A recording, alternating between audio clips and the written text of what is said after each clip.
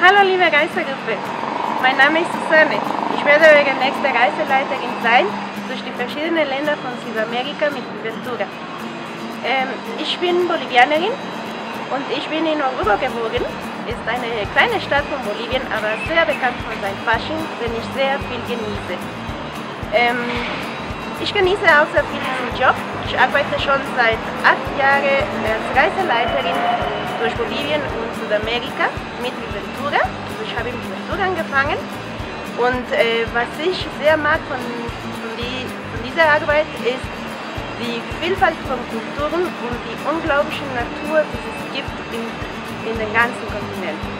Also ich freue mich, dass wir zusammen äh, reisen werden und äh, wir werden uns sicher schon in dem Flughafen sehen und ich wünsche, dass wir zusammen eine herrliche Reise haben werden.